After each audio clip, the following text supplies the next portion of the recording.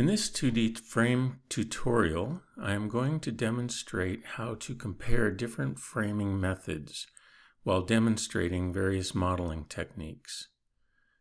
First of all, we're going to sketch members using the graphical grid that allows us to align members to specific locations.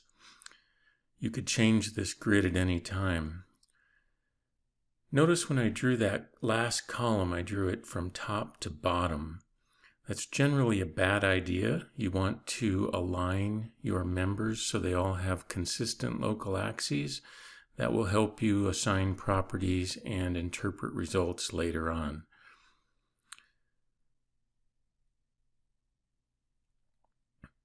I'm going to select the base nodes here using the control key so that I can define pin supports. These are external supports on our structure. And you can see here by default connections between members, beams, and columns are rigid by default. By turning on the picture view, we can see the actual cross sections a little bit better and we can see what shapes we have. So I'm going to change this to a steel frame from the default that I had set up as wood. So I'm going to pick a W14 column for both columns and a W18 beam. When you select a shape from the database, you also get a default material associated with that shape category. You can override that default material after changing the shape. You can change the material if you want to. We're going to stick with this A992 grade 50 steel.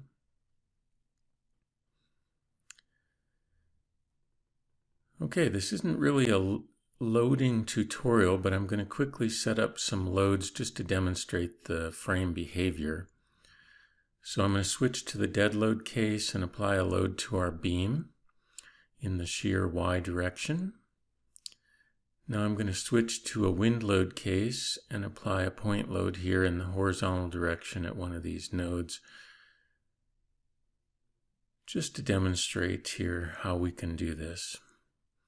Finally, I'm going to set up a load combination and we can go to Load Case Manager and we could just use a built-in building code to get a bunch of load combinations. It's a little overkill for our tutorial. We're just going to set up one custom combination. You can give it whatever name you like here, something descriptive. And set up the load factors on our dead load and our wind load.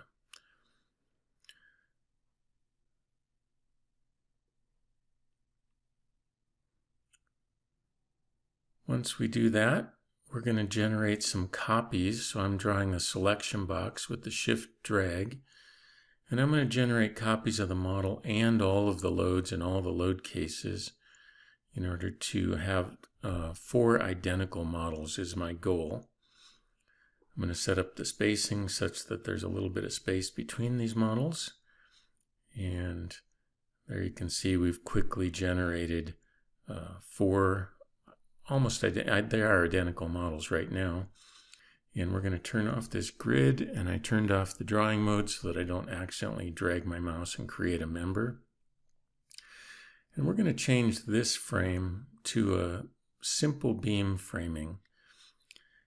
And if I do that, I'm going to have to add some supports here because otherwise we're not going to be stable. So I'm going to add some rotational supports at the base.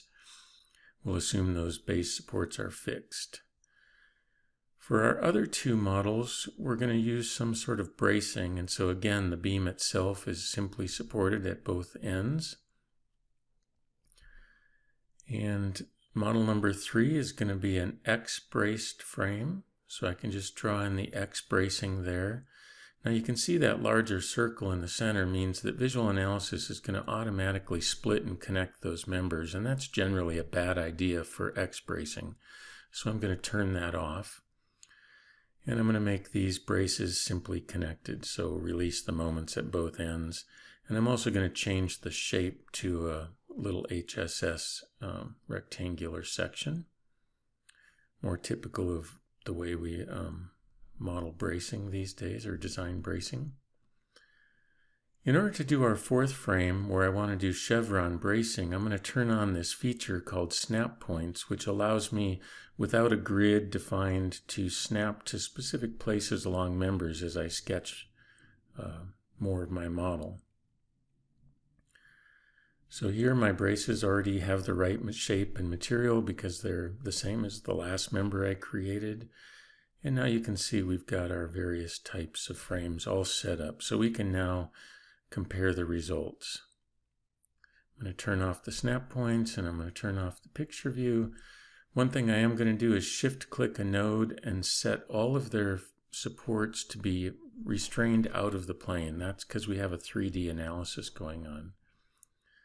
So now we can see, we can compare how these various types of frames uh, compare to each other for deflections or moments and shears. And I'm also going to go back and turn on tension only bracing in this X braced frame just so you can see how that feature works. So when we run an analysis, one of the braces actually got removed because it would have gone into compression.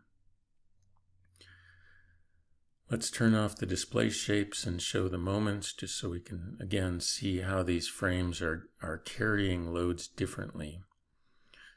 So we'll turn on the display of the MZ moment and put on frame diagrams. And you can there now compare how these frames carry their loads. So that's it for our 2D frame comparison. Just gives you an idea of how you can set up models in visual analysis. Thanks for watching.